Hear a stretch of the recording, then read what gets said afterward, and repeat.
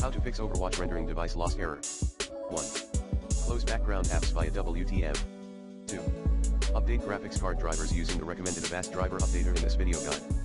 3.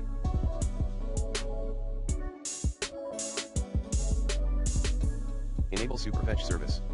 4.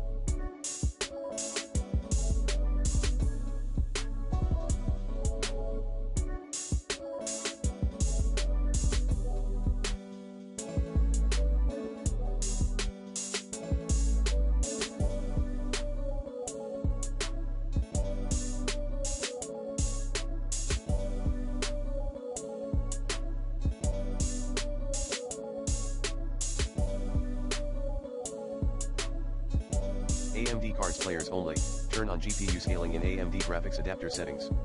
5. Stop using any PC overheating, temporarily. Plan B, undo or remove overclocking. 6. Repair system files.